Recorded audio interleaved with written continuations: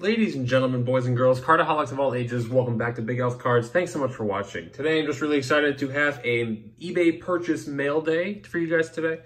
Um, so a little bit of background before I get this guy open. So you guys know that I'm a big Bears fan and I have been trying to get every Justin Fields card that I can get out of anything that I open. And the goal is to get, you know, a couple of singles here and there if they're nicer when I have the budget for it. So I saw this card on eBay and I knew I had to pick it up. Like I, it was at auction.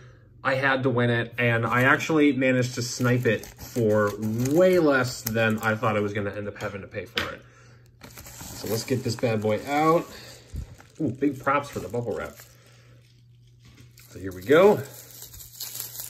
It is I don't know if you guys can see it. Maybe you can't, but there's a lot of bubble wrap. So big kudos to the seller. Um, actually, it was somebody who doesn't have any feedback, so I was a little nervous about actually getting it. Uh, but it looks like he came through very nicely. Oh, it's gorgeous. Even, even more gorgeous in person. It is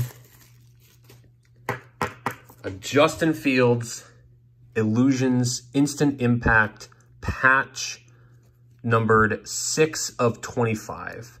I scored this bad boy for, I think it was 30 bucks. So, I mean, I, I needed to have a Justin Fields card in my PC, like a big one like this. I am still hoping to get an auto, probably for my birthday. That's the goal.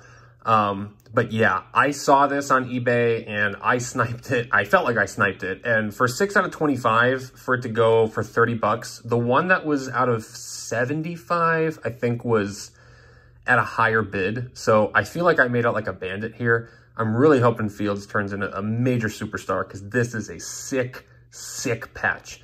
So big ups to the seller for just a really smooth transaction. You better believe I'll be leaving you feedback. Thank you guys so much for watching. Please do like, subscribe, stay tuned for more videos, more mail days, and until next time, bye-bye.